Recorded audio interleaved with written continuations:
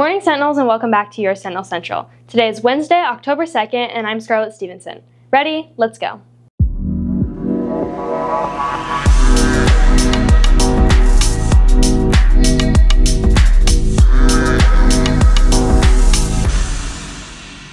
First up, today is the senior parade as well as house games in the Sentinel Hall from 9.53 to 10.34. Seniors should be dressed like senior citizens while everyone else should wear their class shirt. Next, don't forget that tomorrow, starting at 2, there will be kayak races in the lake outside. The dress down day is Twin Day. One more thing before sports.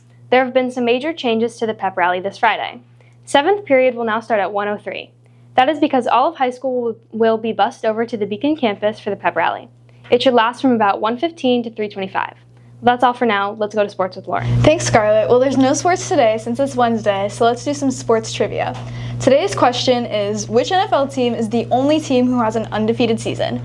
Is it the 82 Pittsburgh Steelers, the 73 Miami Dolphins, the 95 Green Bay Packers, or the 76 New England Patriots?